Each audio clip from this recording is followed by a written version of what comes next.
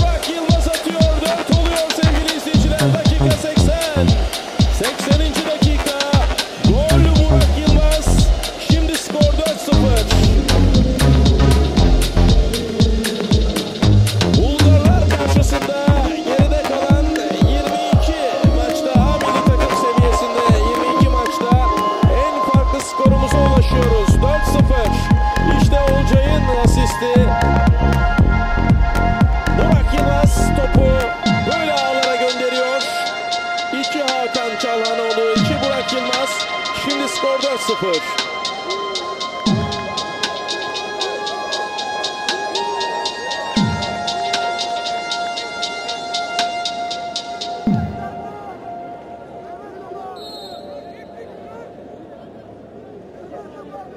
İlk 45 dakikada Mitrev bütün topları çıkartmıştı.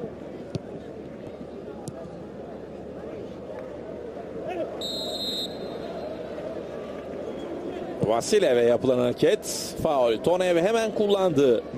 Diakov